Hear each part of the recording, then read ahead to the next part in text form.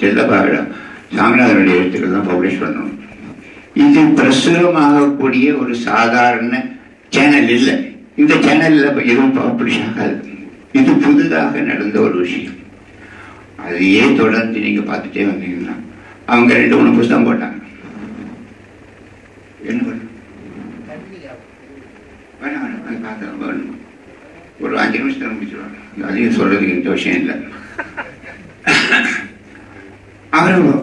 Publish பண்ண ஆரம்பிச்சாங்க. யாரோ எங்கேயோ அவங்களுக்கு தெரியவே தெரியாது. அவங்களுக்கும் பப்ளிஷிங்க்கு ஒரு சம்பந்தமும் கிடையாது. அவர்களுக்கு பிடித்தது நான் எழுதினது பிடிச்சது. அதை புத்தகமா போடணும். வேற யாரும் போடலை. அவங்க மூணு பேரும் சேர்ந்து நாங்க பணம் போடுறோம் அப்படின்னு செல்லப்பாவிட்ட all the way the came to Madras அவர்கிட்ட கேட்டார். அவர் சாமனார் வருவாங்க இப்போ லீவில் அப்போ அவரோட வந்து பேசலாம் அப்படின்னு சொல்லிட்டு பேசலாம் டேவிட் சந்திரசேகர் ராஜபாளையம் மணி யாரோ சொன்னாங்க இப்படி நடந்ததுதான் இப்போ யாரோ ஒரு ரெண்டு மூணு பேர் இங்கிருந்து சிலோன்லேருந்து ஒரு சனாதனன் ஒரு அகிலன் ஒரு இவங்க மூணு பேரும் அவர் ஆனந்த் சொன்னார் நாங்கள் பூசா இன்ஸ்டியூட்டில் சேர்ந்து படிச்சுட்டு பேசிகிட்டு பேசிட்டு இருந்தபோது வந்தோம். அப்படின்னு பம்பாயில் ஒரு சமயத்தில் I think Dilipkumar Janardhanan and இன்னும் யார்? சத்யமூர்த்தி மூணு பேர் என்னையும் அது நம்ம இது போடாம ஒரு சாமிநாதன் ஐம்பது வருஷமாக எழுதிட்டுருக்கான். ஐம்பது வருஷமாக எழுதிட்டு இருக்கிறதுனால என்ன டிஸ்பேச் கலர் கூட ஐம்பது வருஷமாக டெஸ்பேச் பண்ணிகிட்டே இருக்கோம் இல்லையா யார் வேறு யாரை கவனித்தாங்க வேறு யாரும் கவனிக்கவே இல்லை. அவங்களுக்கு என்னமோ தோணி இருக்கு. இது அனதர் அபரேஷன் ஒரு மூணு காலோட பிறந்த குழந்தை. அது எதுவுமே எந்த சூழல்லையும் எந்த இலக்கிய சூழலையும் எந்த கல்ச்சர்லையும் நடக்காத ஒரு அபரேஷன் இங்கே நடந்திருக்கு. மூணு பேர் சேர்ந்து அவங்ககிட்ட பணம் இல்லை எதுவும் இந்த மாதிரி நிகழ்வுகள்லாம் இலக்கிய கூட்டங்கள் ஒரு நிறுவனம் நடத்தும் ஒரு கட்சி நடத்தும் ஒரு அரசாங்கம் நடத்தும் ஒரு சாகித்ய அகாடமி போன்ற ஒரு ஒரு ஒரு ஒரு ஸ்தாபனம் நடத்தும். உதிரியாக எங்கேயோ பாம்பேல ஒருத்தர் மெட்ராஸ்ல ஒருத்தர் சிலோன்ல ஒருத்தர் அப்படின்னு சேர்ந்து அது ஒரு ஒரு- ஒரு சாலிட் இதுவா நடந்திருக்கு இல்லையா இது ரொம்ப அபூர்வமான ஒரு விஷயம் இந்த மாதிரி அபூர்வமான விஷயங்கள் ஆயிரத்தி தொள்ளாயிரத்தி ஐம்பத்தி ஏழுல இருந்து ரெண்டாயிரத்தி பதினொன்று வரைக்கும் நடந்துட்டு இப்படி நடந்தாதான் நான் வழியில தெளிவாக போட்டுருக்கேன் அப்படி தெரியக்கூடிய விஷயங்களும் அப்படி பண்ணும் ரெண்டாவது விஷயம் சொல்ல வரணும் நான் எழுதியிருக்கிறது எல்லாமே நியாயமா? மனசா சொல்றேன். பொது புத்திக்கு புலப்படக்கூடிய விஷயங்கள் தான்.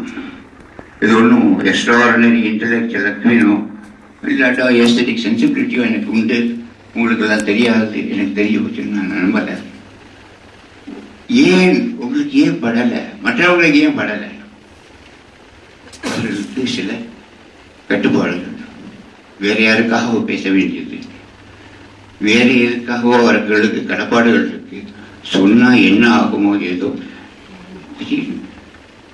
என்ன? யோசிச்சு பாருங்க.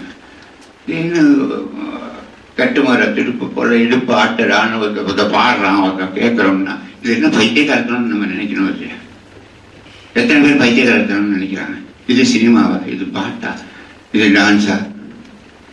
என்னவோ நம்ம எல்லா தளங்களிலும் நம்ம ஒரு பைத்தியகாரத்தனத்தையே பண்ணிட்டு இருக்கோம் இது பொது புத்திக்கு ஏற்காத ஒரு விஷயம்.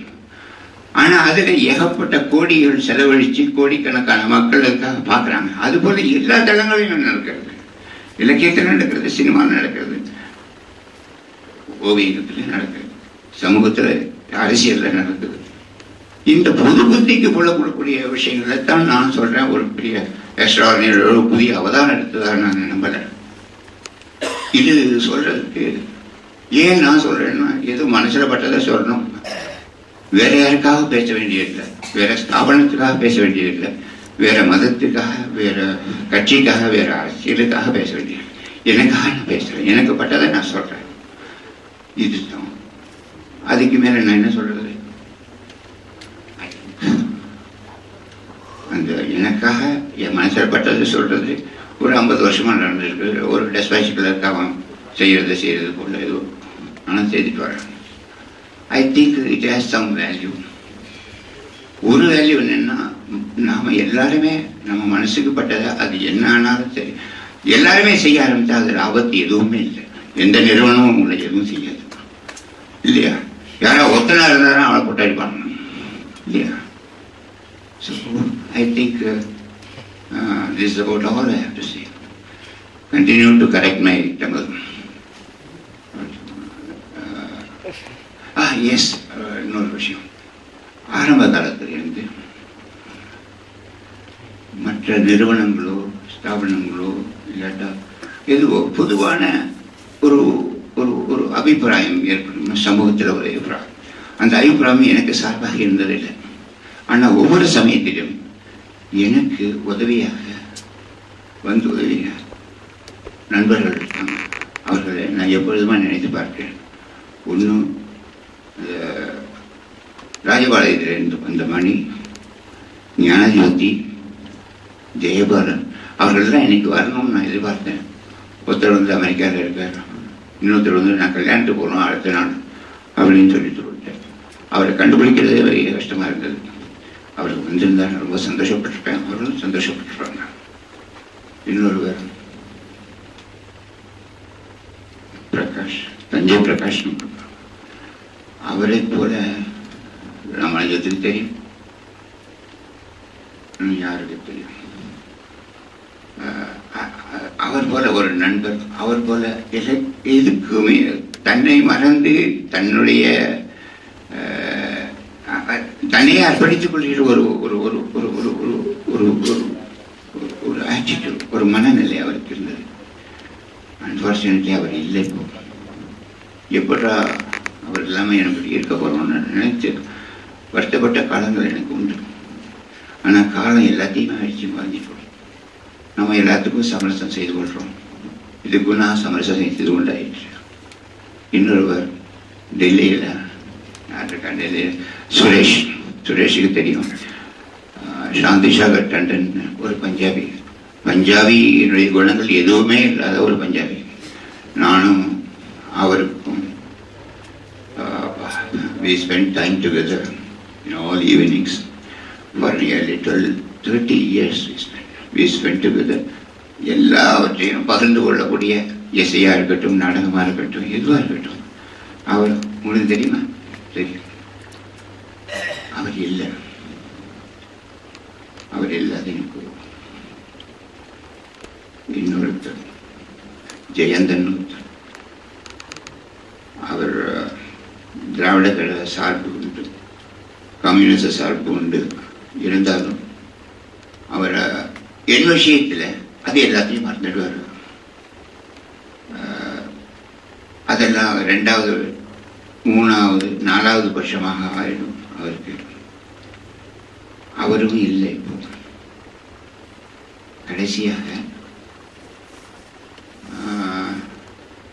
no hero no genius is hero to his ஒய்ஃப்னு சொல்லுவாங்க. என்னுடைய ஈடுபாடுகளை பற்றி ஒன்றும் ஜாஸ்தி பெரிய அபிப்பிராயங்கள் கிடையாது என்னுடைய மனைவிக்கு. ஏன்னா அதில் பணம் வரல. அது மாத்திரம் இல்லை ஒரு பெரிய கூட்டம் இல்லை எனக்கு. சார் சார் கையெழுத்து போட்டு கொடுங்க சார் அப்படின்னு ஆட்டோகிராஃப் போட்டு கேட்குற கூட்டங்கள் இல்லை. ஆனால் இந்த நண்பர்களில் சில அநேக நண்பர்கள் மணியே தெரியும். திலீப்குமார தெரியும். இலகுபாமா தெரியும். அவர்கள் மூலமாக இவர்கள் நான் இவ்வளவு தூரம் சோமநாயன் பாசமா இருக்காங்கன்னா there must be something in அப்படின்னா. அவள் இந்த சமயத்தில் அவள் இருந்திருந்தாங்க அவள் சரி நம்மளால ஏதோ விஷயம் எடுத்து போட்டிருக்குன்னு நினைச்சு சந்தோஷப்பட்டுருக்கோம் இல்லை. இந்த வருத்தங்கள் தான் எனக்கு உண்டு. ஆனால் இதெல்லாம் மீறி உதிரியாக கிடக்கூடிய எங்கெங்கேயோ இருக்கிற எனக்கு படித்து இந்த அணை எதோ சொல்கிறான் இருக்கு அப்படின்னு கன்னடாவில் ரெண்டு பேர் இருக்கலாம். கல்கட்டாவில் ரெண்டு பேர் இருக்கலாம் சென்னையில் ரெண்டு பேர் விழுப்புரத்தில் நாலு பேர். இது எல்லாம் சேர்ந்து ஒரு ஒரு ஒரு சாலிட் ப்ரூஃபாக இவ்வளோ பேர் இருக்காங்க. அங்கங்கே உதிரி உதிரியாக இருக்கிறார்கள் சொல்லக்கூடிய ஒரு தொகுப்பாக இது வந்திருக்கு. இது மற்ற இடங்கள்ல இது புத்தகத்துல சாத்தியம். சினிமாவில் சாத்தியம் இல்லை. ஒருத்தன் டேரண்டர்ல ஒருத்தன் இருக்கான் இங்கே ஒருத்தன் இருக்கான் அவனுக்காக ஒரு சினிமா நடத்த முடியாது. எல்லாம் ஒரே இடத்துல ஒரு பத்தாயிரம் பேர் இருந்தால் தான் ஒரு ஃபிலிம் சாத்தியம் ஒரு நாடகம் சாத்தியம் ஒரு டான்ஸ் இது பெர்ஃபார்மன்ஸ் சாத்தியம். ஆனால் இது அப்படி இல்லை. எல்லாவற்றையும் எங்கெங்கிருந்து உதிரியாக இருந்தாலும் கூட அவர்கள் எல்லாவற்றையும் ஒன்றுபடுத்தி ஒரு இடத்துல அமைக்க முடியும். இது இந்த இந்த இந்த எண்ணம் அவர்களுக்கு தோன்றியிருக்க திலீப் குமார் கிருஷ்ணநாத் நினைக்கலாம். இவங்கெல்லாம் எங்கெங்க இருக்காங்க? அவர் எங்க இருக்காரு? இவர் எங்க இருக்காரு? இவர்களெல்லாம் இவருடைய சிந்தனைகள்லாம் ஒரு இடத்துல ஒன்றுபடுத்திருக்க அந்த ஒன்றுபட்டதனுடைய சாட்சியமாக இது இருக்க. அதுக்கு நன்றி. உங்கள் எல்லோருக்கும் not a great speech. But my, my, my